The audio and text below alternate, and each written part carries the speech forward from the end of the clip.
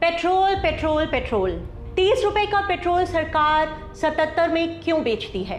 ऐसा पूछने वाले एक बार ये भी तो पूछें कि 16 में गेहूँ खरीद कर सरकार दो रुपए में क्यों बेचती है? 50 का केरोसिन 15 में क्यों बेचती है? 40 की शक्कर 26 में क्यों बेचती है? 25 का चावल खरीद कर तीन रुपए में क्यों बांटती है? लाखों रुपए टीचरों को तनख्वाह देकर बच्चों को मुफ़्त क्यों पढ़वाती है? छह करोड़ से भी अधिक शौचालय मुफ़्त में क्यों बनवाती है? तीन करोड़ गैस चूल्हे मुफ़्त में क्यों बांटती है? ये भी तो पूछो। गुजरात के मोहनदास करमचंद गांधी राष्ट्र के पिता हो सकते हैं। जवाहरलाल नेहरू सबके चाचा हो सकते हैं। मायावती सबकी बहनजी हो सकती हैं। ममता बनर्जी सबकी दीदी हो सकती हैं, जयललिता सबकी अम्मा हो सकती हैं, सोनिया गांधी देश की बहू हो सकती है।